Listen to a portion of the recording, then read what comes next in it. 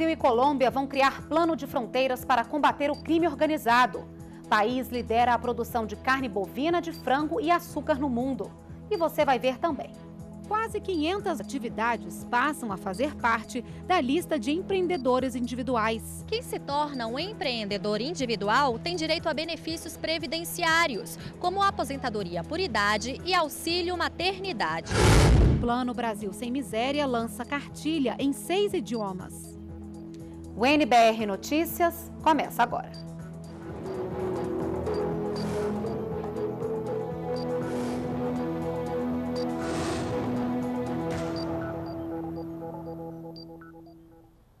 Olá, boa noite. O Brasil está entre os maiores produtores de alimentos do mundo.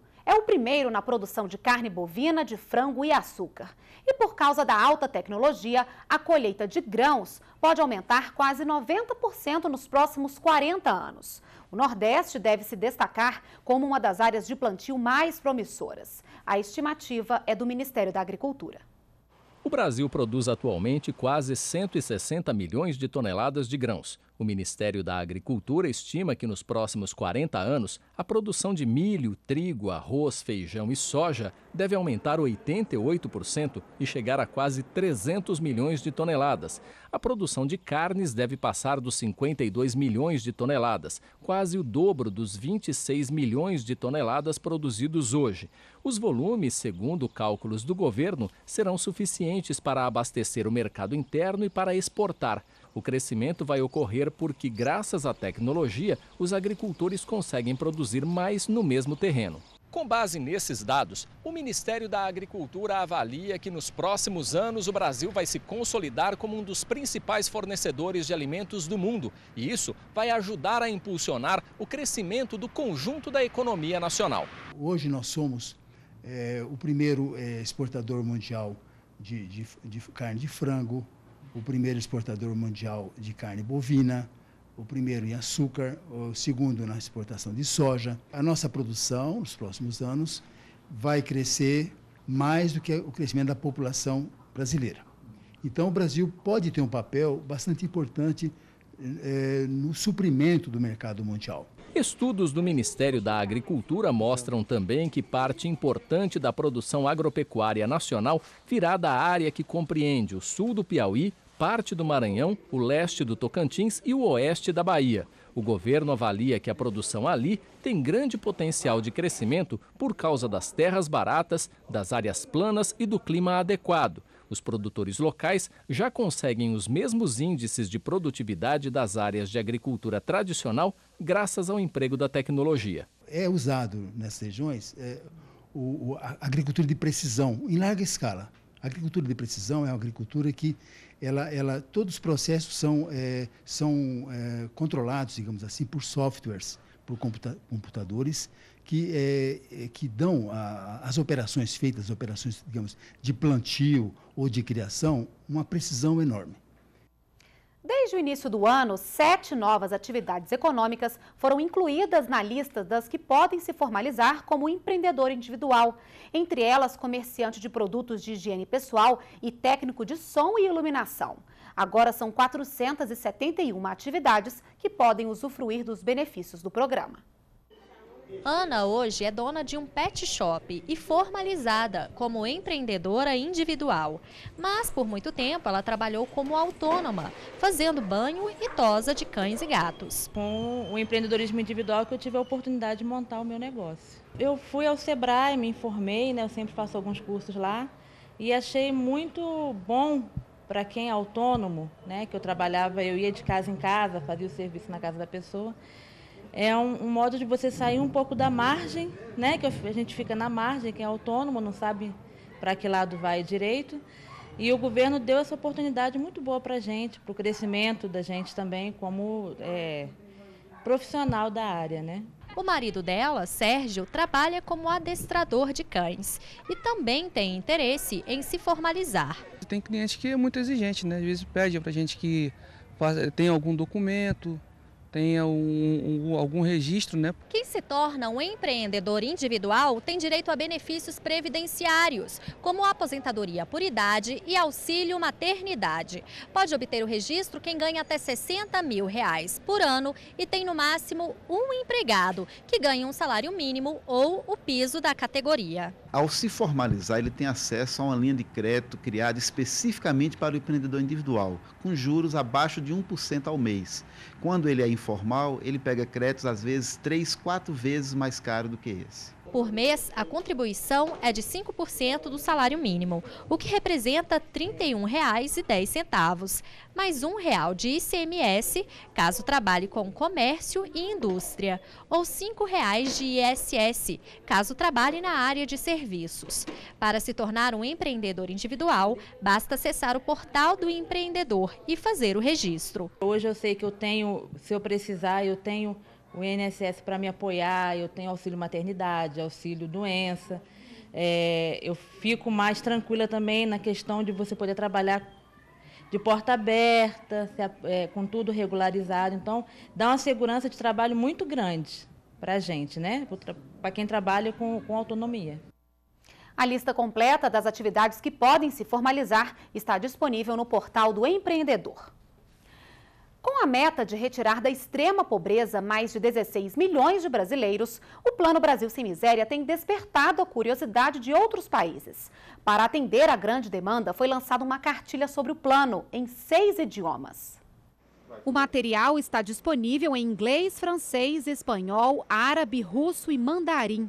A ideia é facilitar a troca de experiências e ampliar a cooperação na área social com outras nações. Hoje, o Brasil mantém parceria com 41 países.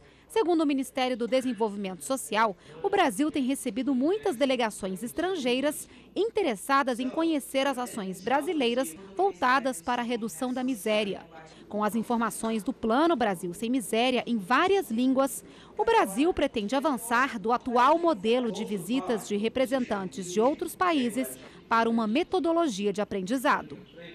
O lançamento da cartilha foi durante um seminário internacional que acontece em Brasília até o dia 20 de janeiro. O encontro reúne representantes da Tunísia, Palestina, Índia, África do Sul e Egito.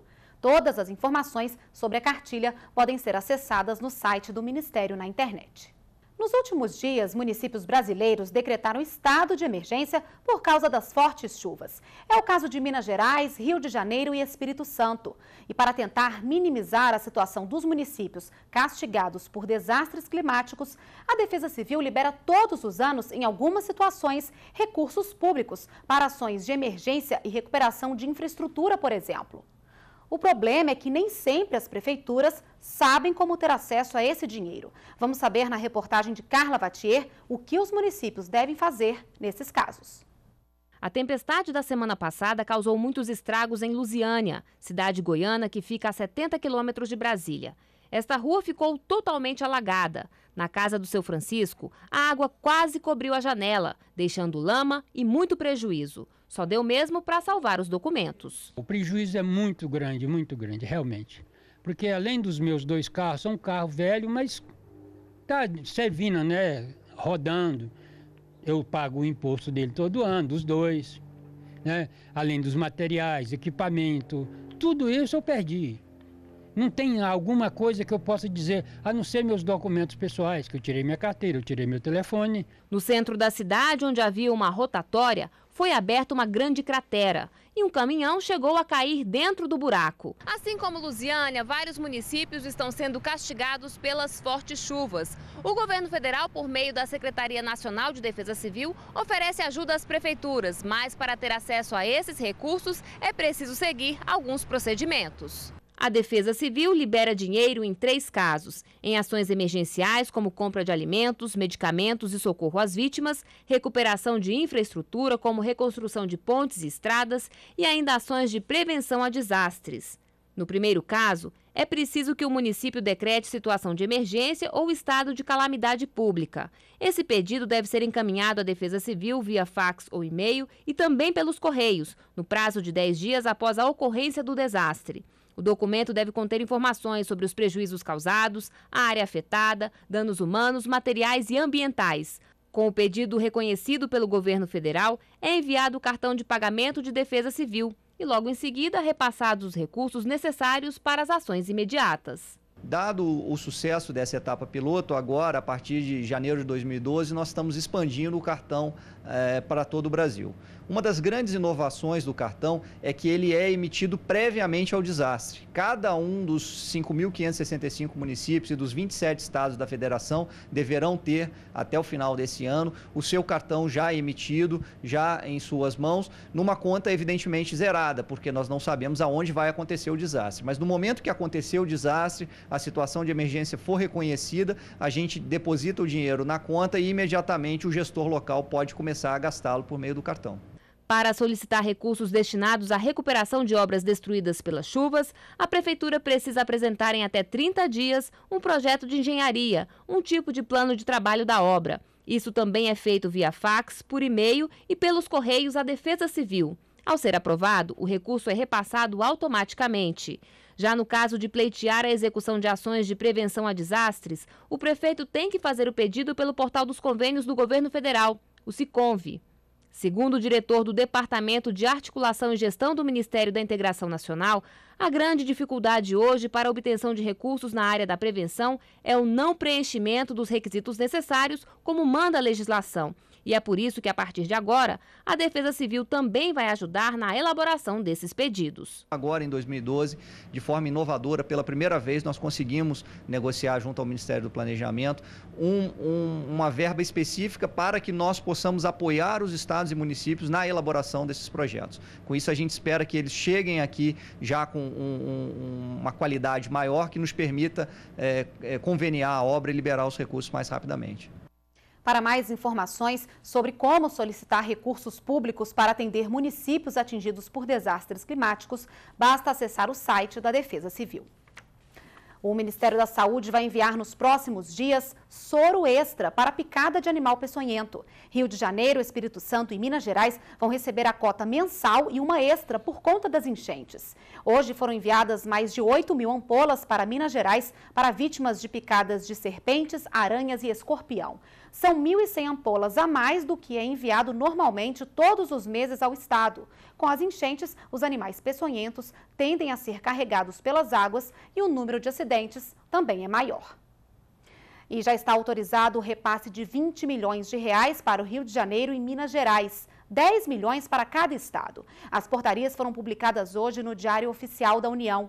Os recursos serão empregados na execução de ações de socorro, assistência às vítimas e reestabelecimento de serviços essenciais. De acordo com a Defesa Civil, 153 municípios decretaram situação de emergência em função das chuvas. Brasil e Colômbia vão criar um plano bilateral de fronteiras para combater o crime organizado na região. A medida foi discutida hoje pelos ministros da Defesa dos dois países. Dentro da proposta do plano está a criação de uma comissão bilateral. Assuntos técnicos, como o intercâmbio entre aviões militares brasileiros e colombianos e o uso de lanchas da Colômbia para patrulhamento nos rios fronteiriços brasileiros, vão ser discutidos pela comissão. Também há interesse da Colômbia em adquirir aviões não tripulados brasileiros para vigilância na fronteira entre os dois países. O ministro da Defesa colombiano, Juan Carlos Pinzon, destacou a proposta de criação de um centro integrado de informações na Amazônia para combater o crime na região, especialmente o tráfico de drogas e armas. E o ministro Celso Amorim destacou que a integração entre Brasil e Colômbia favorece as duas nações. O fato de nós negarmos o território brasileiro, o acesso ao território brasileiro, por quaisquer organizações ilegais, é a melhor ajuda que nós podemos dar. Então, quando nós fazemos, cuidamos bem das nossas fronteiras, isso já é, de certa maneira, uma contribuição para que o governo colombiano ah, ah, ah, atue em relação às atividades ilegais dentro do seu território. A judoca Maíra Aguiar, beneficiada pelo programa Bolsa Atleta do Ministério do Esporte, garantiu vaga para os Jogos Olímpicos de Londres em julho deste ano. Maíra foi medalha de ouro no Mundial Masters no Cazaquistão, que terminou neste domingo. Ela derrotou a atual campeã olímpica da China. E a equipe brasileira de luta olímpica estilos livre e greco-romano, que vai disputar o torneio pré-olímpico em março em Orlando, nos Estados Unidos, foi definida no último fim de semana no Campeonato Brasileiro da modalidade no Rio de Janeiro. Dos nove atletas selecionados, sete são beneficiados pelo Bolsa Atleta. E foi publicado hoje no Diário Oficial da União o decreto que estabelece novas regras para a concessão de rádios e TVs comerciais no país. A medida altera o decreto que vigorava desde 1963. Agora, os veículos terão de comprovar a capacidade financeira e técnica para executar os serviços. A medida também determina que a outorga da emissora de rádio ou TV deverá ser paga à vista. Atualmente, o pagamento pode ser dividido em duas vezes. O ministro das Comunicações, Paulo Bernardo, informou que a medida vai facilitar e tornar mais ágil o processo de licitação para a concessão de rádios e TVs comerciais no Brasil.